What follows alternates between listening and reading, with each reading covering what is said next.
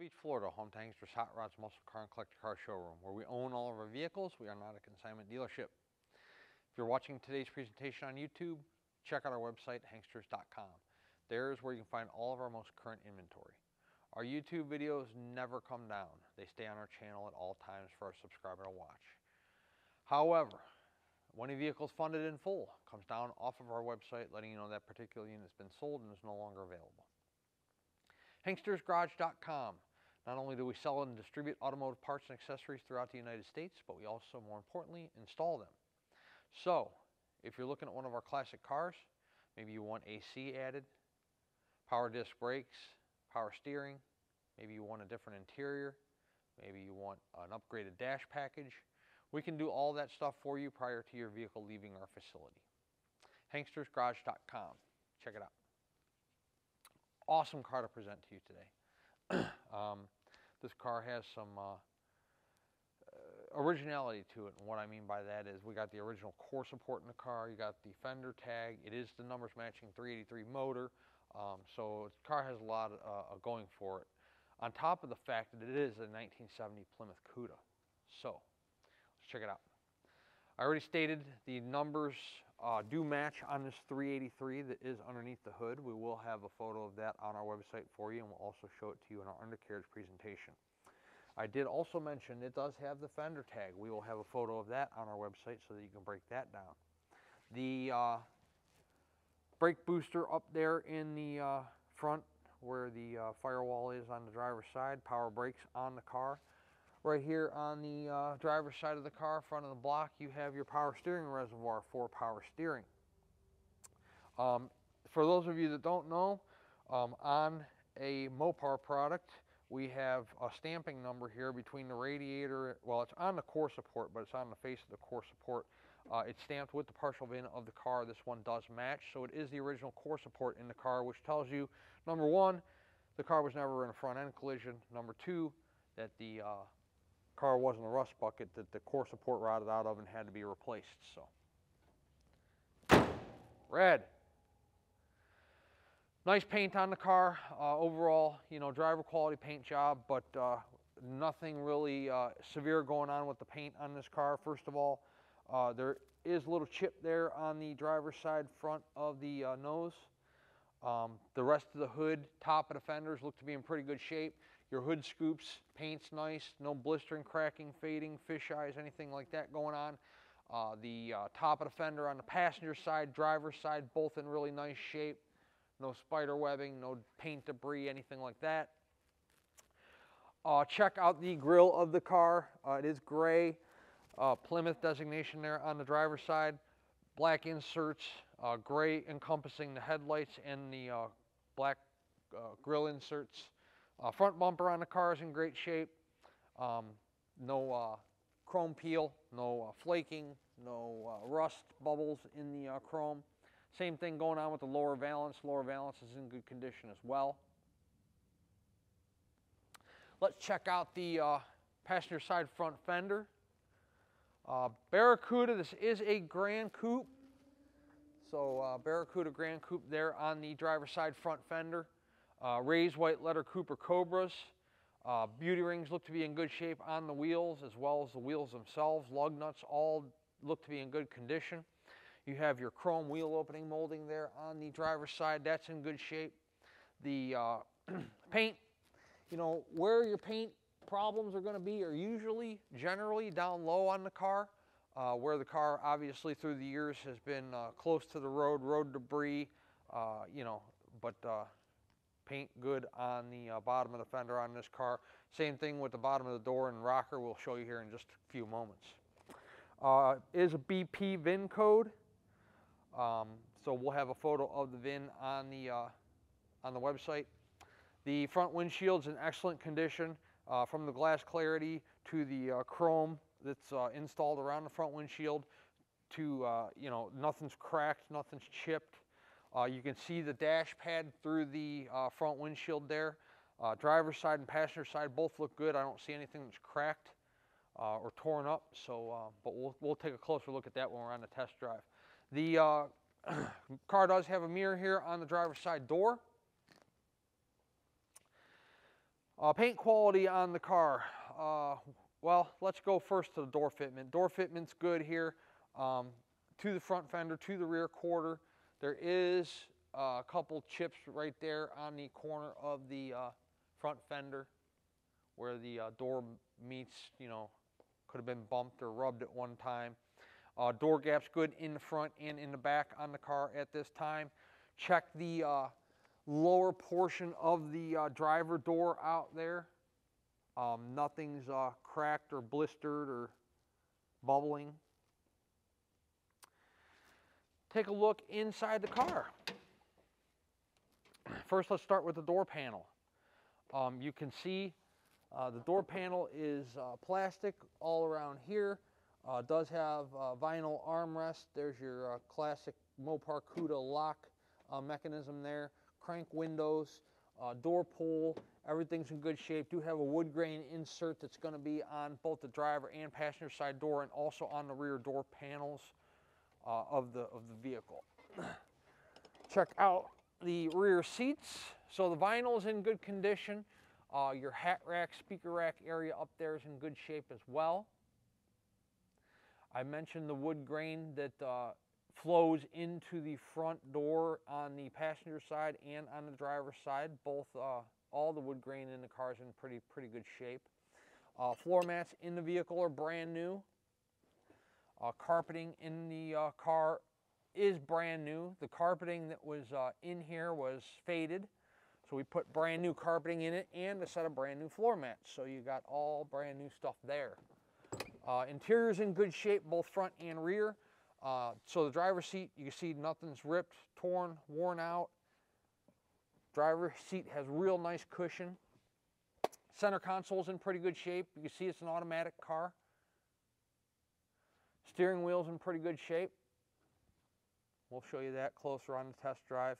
Uh, CUDA floor mat, show you the uh, carpeting underneath here. It's brand new. I'm telling you, it, nobody's even been in the car yet except to pull it around from detail to uh, stage it in the showroom here for photos. Uh, headliner's in nice condition as well. You can't really see uh, that uh, inside here, so uh, we'll show you that on the test drive as well.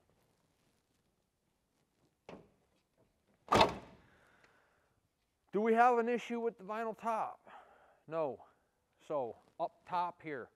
Um, real nice and uh, flat, uniform, uh, no buckled uh, or rust bubbles, anything like that. Um, we'll check our pro problematic areas in that. Those are in front of the front windshield, which I'll show you here in just a couple minutes. Uh, drop downs to the rear quarters. Nice and flat there. Behind the rear window. Once again in nice condition. While you're there, check out the glass clarity of the rear window. It's in real nice shape. Before we continue on to the back of the car, let's check low on the rear quarter. We'll get a look behind the uh, rear wheels, tires here. Nothing on the rear quarter in terms of bubbles, blisters, cracks, spider webs, anything going on there. It's a pretty, pretty nice quarter on the car. Um, We'll give you a shot here down the side of the vehicle so you can see the body lines.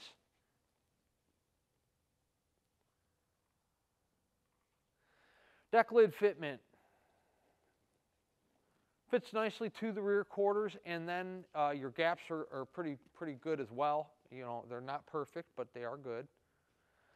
Uh, Barracuda designation there on the uh, rear valance. You got your Grand Coupe. We got our keys stuck in there, so the uh, keyhole's open right now. It's got one of those key, hidden keyholes. Uh, chrome on the rear bumper looks to be in good condition. Lower valance on the rear looks good. You have duals coming out the uh, rear of the vehicle there. Take a look in the trunk. Uh, so, a couple things. First of all, you'll notice no jack, no spare. You will notice a brand new trunk mat because there wasn't one in there, so we bought a new one for it. Um, the trunk itself, give you a shot of that, is in real nice shape, nice and solid. Now, you'll see an envelope laying there, which will come with the car. Uh, we went through it. I'm not going to bore you. There's some miscellaneous receipts in there. Nothing uh, extensive as far as, you know, when the car was painted, uh, when the motor was rebuilt, anything like that. There is this magazine uh, that will come with the car where the car was featured in the magazine. Uh, just tells a little story about how one of the gentlemen uh, through the timeline that had purchased it uh, found the car driving by. It's a little short little story, but uh, pretty cool. You know, everybody always likes conversation piece, and anytime a car you owned or bought is in a magazine, it's kind of a cool thing. A lot of lot of classic cars out there, so when you have a uh, recognition in a magazine publication, I guess it's something to talk about.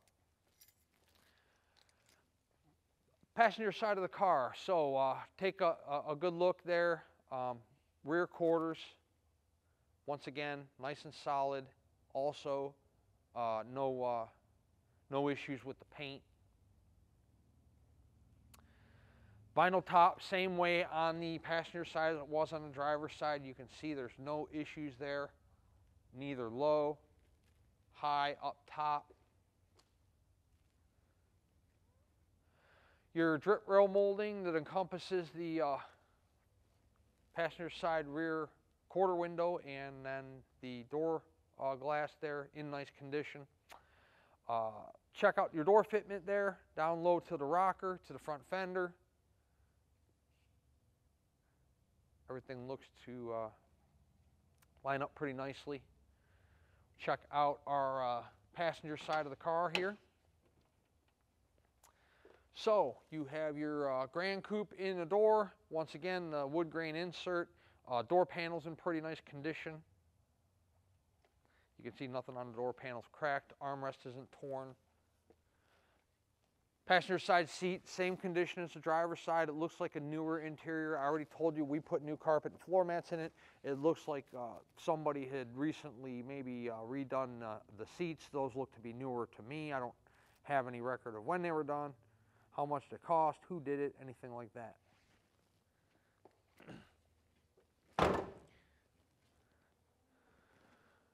Barracuda on the passenger side front fender. Once again, your Grand Sport logo, or I'm sorry, your Grand Coupe logo. Front wheel on the passenger side of the car looks to be in good shape. I stated uh, we do have up close photos. I don't really get down too low there when it comes to the wheels and tires, so you know make sure there's no curb rash, make sure there's no pitting of the chrome. Uh, you can blow our still photos up nice and large so that you can take a close look at those.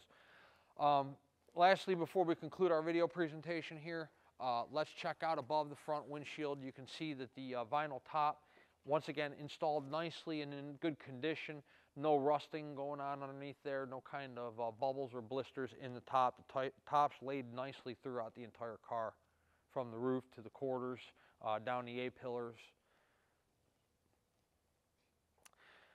1970, numbers matching 383 Plymouth Cuda. Everything we're doing in this video presentation, you can do in person when you visit our Daytona Beach showroom, which is what I encourage you to do.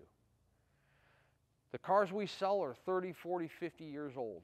They all have little flaws, deficiencies, tendencies, uh, some of which uh, may be more concerning for one buyer than another. I think this is a pretty cool car. Great color, uh, good interior combination, a little story to go with it, original core support, does have a fender tag, numbers matching motor, you know, so the car has a lot going for it. Um, you know, but I do this every day. I buy and sell a lot of cars, so when I see a, a car that I like, uh, there's usually a reason behind it. Now, uh, maybe this is your first classic car purchase, or maybe you haven't owned one of these uh, vehicles since the late 70s, early 80s, or maybe you've always won on one, whatever your circumstance is. Um, we encourage you guys to visit us in person. Come on into our showroom. You can check out this 70 CUDA. We have about 70 cars on hand right now for, uh, for you guys to look at. You can view our entire inventory of cool classic collector cars. Um, you can meet us face to face. We'll talk about, you know, how to store the car, what type of gas to use, what type of oil to use, uh, some of the uh, responsibilities that come with owning one of these classic vehicles. We'll show you the vehicle in its entirety. We'll let you look at it in the sunshine real good. We'll put it up in the air for you so you can check out the undercarriage. We'll let you drive it. You can see how the motor performs, the transmission shifts, the car rides, the car handles, the car brakes, you know, that, all that stuff. Everything we're going to do in this video. we do a lot of sight unseen business. In fact, that's how the majority of our business is conducted. We are an internet based platform. So, between Daytona and our showroom up in Pennsylvania, we do a lot of sight unseen business. We make a lot of people happy. We deliver a lot of cars month after month. But if you are a more particular or specific buyer, um, and like I said, maybe you've never owned a classic car, maybe it's been 10 years since you have, uh, definitely come in person and check out the car for yourself so you're not just taking our word for it. Let's take the car outside, we'll put it up in the air, and we'll check out the undercarriage real quick, and then we'll take it on a uh, little test drive here in Daytona Beach, 1970 Plymouth Barracuda Grand Coupe. Underneath our 70 Cuda, we have disc brakes up front. Told you in the showroom it's a numbers matching car, so it's pretty dark up here. So here's where your partial VIN is going to be. You're not going to be able to see it in this video presentation, it's too dark. So uh, we will have a photo of it on our website. Same thing with the date code. The date code is 814 of uh, 69. So uh, we will have that up there as well. Neither one you can see. I can barely see it, and I'm standing right directly underneath the car. So uh, frame rails on the car look fantastic, both driver's side and passenger side. Let's take a look at the tranny pan real fast. Um, it is nice and dry. The cross member that supports the transmission up is uh, in good shape. The only holes that are there are the ones that are supposed to be there, so that's a good thing. Floor pans. So the floor pans on the car look pretty good. Um, from what I can tell, uh, they're one solid piece going all the way back. I don't see anything sectioned or siliconed. They look pretty good. Same thing with the uh, tunnel where the drive shaft's at. Uh, the exhaust system, you have exhaust manifolds on the driver's side and the passenger side. And then, of course, we roll down to uh, your exhaust pipes, which have pretty good welds on them. Looks like the beads are pretty nice. Uh, let's see if we, we have no name brand on the mufflers, so uh, they're just mufflers. So, uh, drum brakes in the rear. Gas tank looks to be in pretty good shape. So going up over the rear end, let's take a look at two things. Let's take a look at the exhaust pipes. They are uh, bent correctly, and then of course there's no uh, rust holes, rot holes in those. And then the frame rails on the car look to be in good shape, uh, driver and passenger side. Uh, tires, tire condition's good. Uh, you see there's no uh, dry rot between the treads here. And then of course your wear bars there. there's plenty of tread on the tires before it gets down to the uh, wear bars. The date code on the tires is 2018, by the way. 1970 CUDA. Awesome car. Car that's going to generate a lot of activity on our website, I'm sure of it, and a car that's uh, probably will sell pretty quick. We're going to set it down and we're going to take it on a test drive. Before we do that, we're just going to discuss the ways to pay for this car. First of all, if you're a cash buyer, um, we do accept cashier's check from your bank. More common form of payment is bank wire transfer, whether you're coming in person or whether you are uh, wiring from a distance. Uh, you know, bank wires put the funds there the same day generally if they're done early enough in the day. Um, that means we can start preparing the vehicle for shipment that much sooner. Our vehicles are put through inspection, put through detail, get dispatched in the order that they're funded. So the sooner we're paid, the sooner we, you get your car. Financing. The collector car lenders we work with not only will do up to a 15-year loan on these cars, they will also fund us generally the same day. It depends on how fast you are with your paperwork, getting loan docs signed, getting insurance in place, things like that. But typically, uh, the faster you work with your paperwork, the faster we get funded. Normal uh, funding is within 48 hours. However, sometimes it can be done the same day, so it'd be like same as cash. Uh, once we are paid, we put the vehicle through an inspection. Uh, this inspection includes checking over uh, headlights, brake lights, tail lights, reverse lights, torquing the lug nuts, checking the tire pressure, checking all the fluids.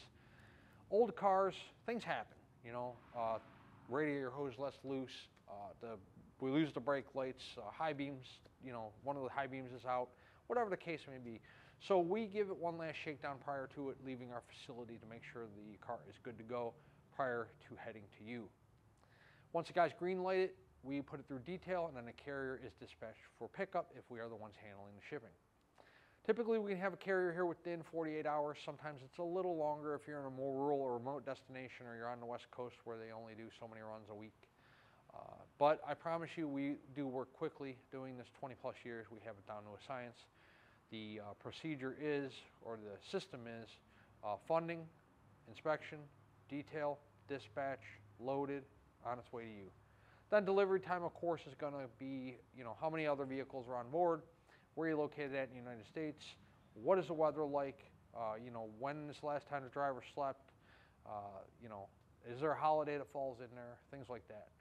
But the whole process works a lot sooner than you might think it does, or a lot quicker than you might think it does. the whole process works a lot quicker than you might think. Uh, we really have, like I said, down to a science. And um, the vehicle sitting in your driveway, sitting in your garage, or your place of business a lot sooner than you might think. Once we're funded, we work quickly. Let's set our 70 CUDA down on the ground. We'll take it on a test drive. It's a beautiful day here in Daytona. We'll uh, see how the car runs. Okay, inside our 70 CUDA. Horn. Uh, wipers.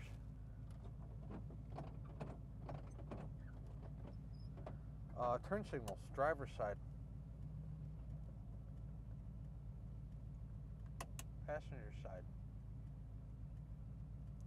Uh, fuel gauge does work. We're a little low, so I'm going to stop and put some in it. Temp gauge. We'll uh, see if that comes up during the test drive. Alternator gauge functioning. Uh, center console's in good shape.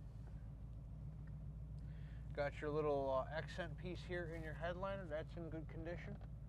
Uh, headliner does have a tiny bit of a sag on this side, uh, but no rips, no tears. It is a vinyl headliner.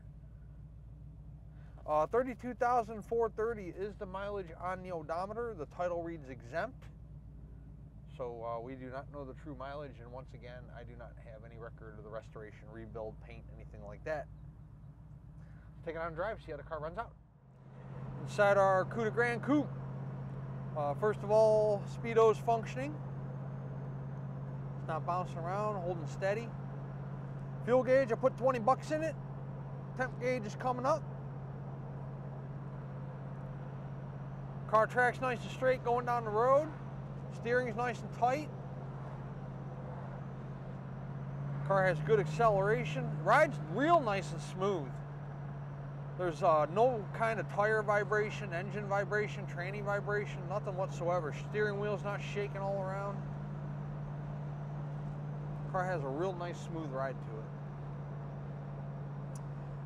Uh, just a couple moments here, we will show you the brakes and then we will uh, run it through a couple gears here as we make the uh, right hand turn.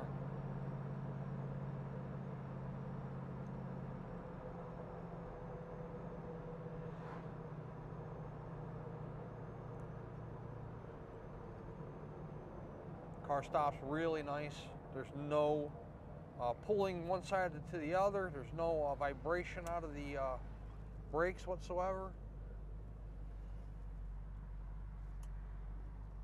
We'll get it through a couple gears here. Notice how we're idling. Real nice and steady. Uh, no uh, bucking, spitting, sputtering, stalling. No crazy RPM fluctuation. Okay, running through a couple gears.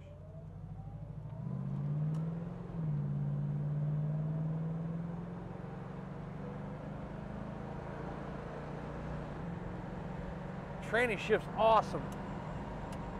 That's 70. I'm to shut it down there. As you can see, I caught up to the vehicle in front of me rather quick. So 60 miles an hour, no hands on the wheel. Car tracks straight. Once again, you know, 55 miles an hour. There's no front end shimmy. There's no uh, tire shake, vibration. Really nice, uh, really nice car. 1970 Plymouth Cuda Grand Coupe.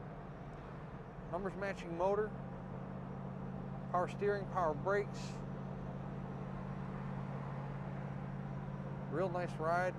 Everything's working like it should. Speedo works, fuel gauge works, temp gauge works. Our temp's nice and low. Hasn't even reached the halfway point yet. Car stops nicely. Look at that. Awesome. I like it. Mopar products go fast.